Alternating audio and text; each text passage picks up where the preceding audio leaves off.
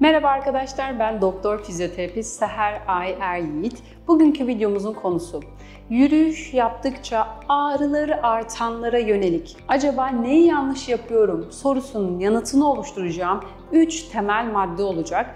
Çok fazla kişide şunu görüyorum. Gittiğim hekim yürüyüş yapmamı tavsiye etti. Siz yürüyüş yapmamızı tavsiye ettiniz. Ama ben ne zaman yürüsem bel ağrısı, boyun ağrısı yaşıyorum. Ya da sırtımda, omuzlarımda ağrılar oluyor. Ben neyi nerede yanlış yapıyorum sorusunun yanıtını bulamıyorum gibi çok fazla yorumla karşılaşıyorum. Unutmayın dış alanda yapacağınız yürüyüşler omurganıza, vücudunuza iyi gelmenin yanı sıra psikolojik olarak da size çok daha iyi hissettireceği için mutlaka yürüyüş yapmamız lazım. Ama yürüyüşün yanında ağrılar oluşuyorsa sizi çok iyi anlıyorum. Lütfen bu videoda söylediğim bu 3 detaya dikkat ederek varsa değiştirebileceğiniz özellikler bunları değiştirerek devam edip ağrılarınızı azaltma yolunda ilerleyin. Ama videoma giriş yapmadan önce eğer beni daha fazla desteklemek isterseniz Instagram adresimi buraya bırakıyorum. Instagram'dan beni takip edebilir ya da aşağıdan ücretsiz bir şekilde YouTube kanalıma abone olabilirsiniz. Gelin ilk maddemizi detaylandırarak videomuza giriş yapalım. Öncelikle bahsetmem gereken birinci detay. Eğer yürüyüş sırasında başınızı öne alıp yürüyüşü bu şekilde kambur bir pozisyonda devam ettiriyorsanız, sırtınız ve beliniz Yürüyüşün 5. 10. dakikasında artık kuvvetiniz ne kadarsa size sinyal vermeye başlıyor olabilir.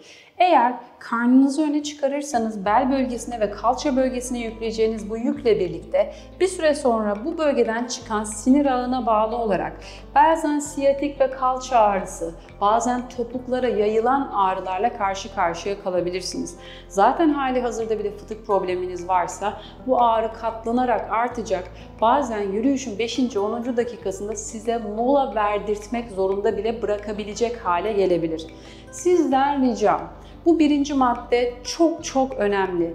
Eğer yürüyüş sırasında hafif şöyle omuzları arkaya alır, hafif göbek öne düşüyorsa, göbeği toplar da yürüyüşü gerçekleştirirseniz gerçekten o gün ağrılarınız %50 oranında azalabilir. Lütfen bunu aklınızdan çıkarmadan hareket edin. Ve birinci maddemde söylemek istediğim yürüyüş sırasındaki duruşunuza dikkat edin önermesini lütfen dikkate alın. İkinci söylemek istediğim özellikle diz, kalça, bel ağrısı yaşıyorsanız birçoğunuz yürüyüş sırasında şuna dikkat etmiyor olabilir. Yürüyüşün ilk adımında bizim topuğumuzun yere teması, daha sonra parmak ucuyla itiş fazı geliyor. Aslında size özetle iki faz üzerinden anlatacak olursam bir dikkat edin bakalım yürürken önce topuk temasıyla mı başlıyorum yoksa dizlerimi hafif büküp ayağımı bu şekilde ortasıyla mı basıyorum?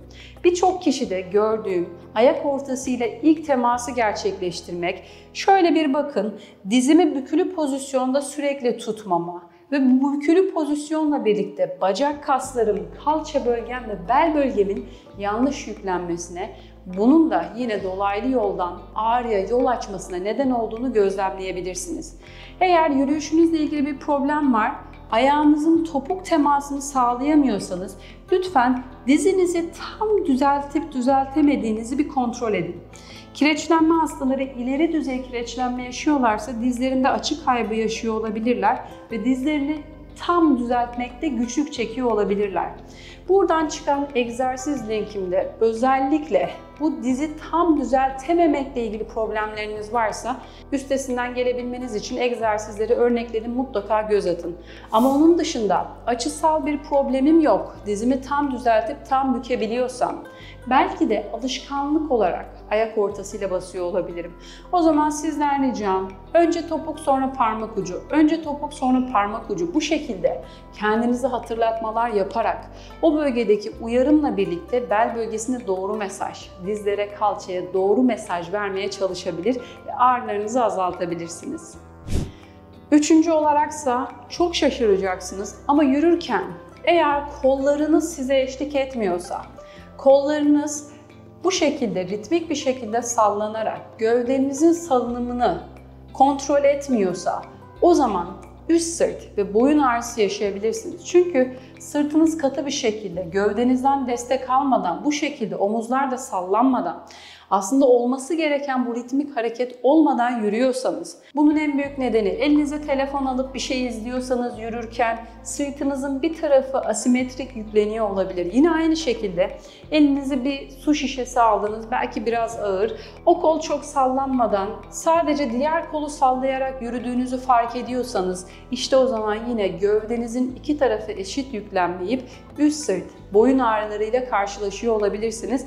Lütfen bu söylediğime de dikkat edip özellikle yürüyüş sırasında kollarınızın da rahat bir şekilde salındığına dikkat edin ve gerçekten buna da dikkat eder. Eğer yanlış yapıyorsanız, yürüyüşe çıkarsanız ağrılarınızın ciddi miktarda azaldığını gözlemleyebilirsiniz. Evet arkadaşlar bugünkü anlatacaklarım bu şekildeydi. Eğer sizin de yürüyüş sırasında az önceki söylediğim detaylarda kol salınımlarınız, baş boyun duruşunuz ya da topuk teması ile ilgili problemleriniz varsa lütfen ama lütfen bu konuda biraz daha dikkatli davranıp gerekirse bu konuda biraz egzersiz yapıp yürüyüşe daha sonra çıkarak o bölgedeki kasların aktivasyonuyla yürüyüş sırasındaki duruşunuzu, vücudunuzun hareket algısını kontrol edebilir ya da kontrol altında tutabilir. Bununla birlikte de ağrılarınızı dolaylı yoldan azaltabilirsiniz. Lütfen aklınızdan çıkarmayın. Bu konuyla alakalı ya da kafanıza takılan herhangi bir soru, görüş ya da önerileriniz varsa lütfen bana aşağıdan YouTube yorumlar kısmından ulaştırın. Diğer videolarda görüşmek üzere.